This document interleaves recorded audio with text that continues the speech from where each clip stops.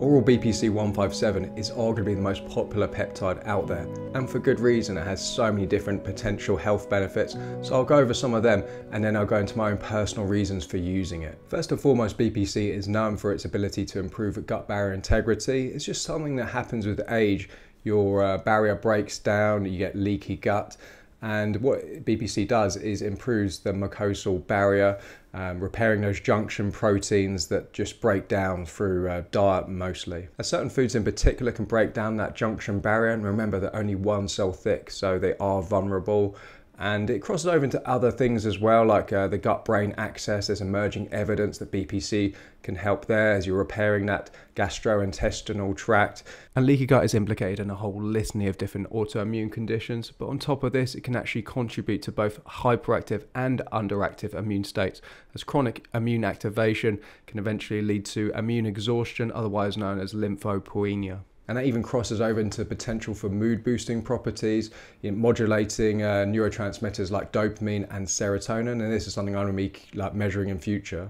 As you may well know, BPC 157 is used a lot in injuries, especially in injection form for a localized effect, but also can have systemic effect when done orally. What it can do is upregulate growth hormone uh, expression and so and this has been shown in tendons and these obviously get under a lot of pressure. So if you're doing sports or in particular say weightlifting that you've got to remember that's only like a semi-natural activity. Yeah for sure doing say circuits uh, compound exercises is more how our ancestors would have lived. But if you're going to the gym say five days a week uh, hitting muscles isolating them again and again that is uh, almost you could argue is unnatural activity. So you're putting your body those tendons under a lot of strain. In addition to this it activates the gene early growth 1 or otherwise known as EGR1 and this is crucial for collagen formation in those necessary tissues. And it crosses over into many things you know promotes strongly promotes angiogenesis the formation of new blood vessels.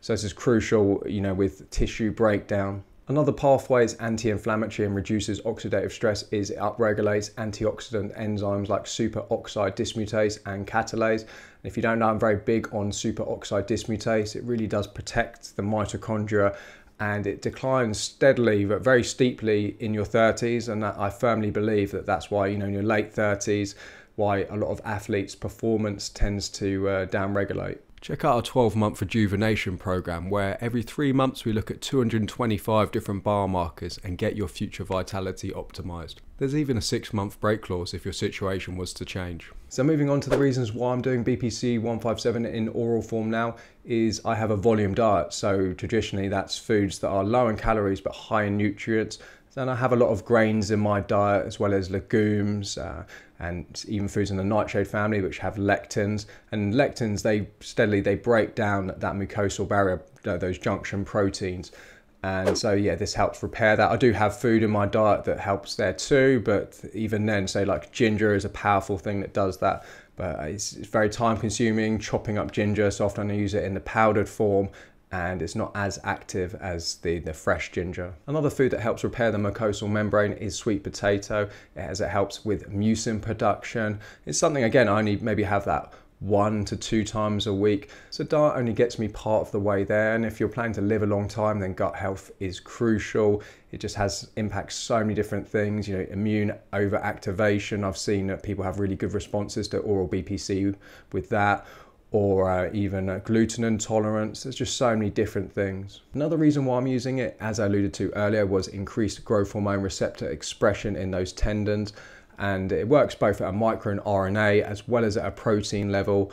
So it does have a lot of potential there. And especially if you do a lot of weightlifting, then uh, I myself, I keep my growth hormone levels fairly low and so that does impact repair when you're training really hard. And due to my joint health protocol, it's rare that I ever get injured, so I feel it's almost overkill to use injectable BPC 157, and so just generalized inflammation, obviously something like TB500 can help there too. But for sure, moving forward, oral BPC is going to be a stable part of my routine. Doing it just twice a year for 30 days, 500 micrograms. It's just a very cheap peptide at what, less than $80, meaning one bottle will just last the whole year. And I get mine from Swiss Chems, very reasonably priced good quality products. I've been using them for two and a half years. I don't know why I've waited so long to use oral BPC 157 again. It's been two years now. I guess my gut has been in a really healthy state, all the things I do to support it, but it's one of those things you don't want to rest on your laurels as, as you get older.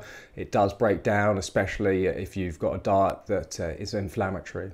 So if you like that, then check out this video here on the growth hormone secretagogue MK677 and how to limit the side effects. Thanks for watching. See you next time.